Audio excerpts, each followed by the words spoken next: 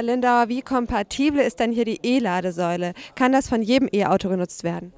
Ja, das kann von jedem E-Auto genutzt werden und zwar in unterschiedlichen Bezahlformen, sogenanntes Direktbezahlsystem. Also ähm, man kann sich einfach mit RFID-Card oder auch mit, äh, mit, mit seinem Handy und dann äh, bargeldlos bezahlen und, und tanken, überhaupt kein Problem.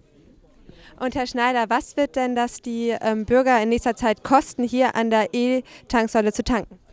Ja, also was wir hier sehen, ist ein Pilotprojekt im Zusammenhang mit der Stadt.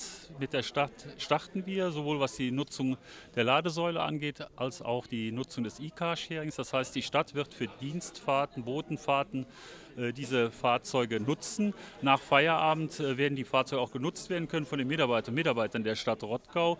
Diese Testphase soll circa einen Monat dauern und danach wollen wir dieses E-Car-Sharing-Angebot für alle Bürgerinnen und Bürger in Rottgau bereitstellen und sind bis dahin auch so weit, dass wir die Preise kalkulieren. Ich kann Ihnen eins versprechen, oder wir können Ihnen eins versprechen, das wird ein günstiges Angebot sein, weil es unsere Absicht ist, die Nachfrage anzuregen.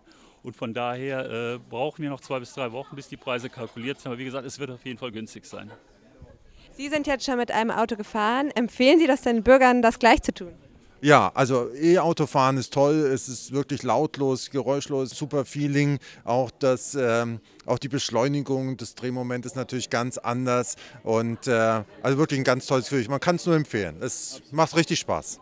Also. Dem möchte ich gerne beipflichten. Also es ist Fahrspaß auch pur mit den Fahrzeugen und äh, der Umwelt zuliebe wollen wir auch die Energiewende in Rottgau nach vorne bringen. Es macht einfach Spaß und man kann es nur jedem empfehlen. Und deswegen freuen wir auch, oder würden wir uns auch sehr freuen, wenn das Angebot ab Januar sehr rege angenommen wird. Ganz kurze Frage noch. Ich habe auch gehört, Sie bieten diese E-Säulen für private Haushalte an. Stimmt das?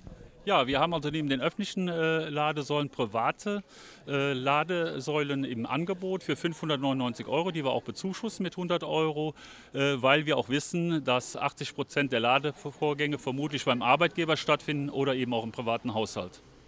Dankeschön, das war's schon.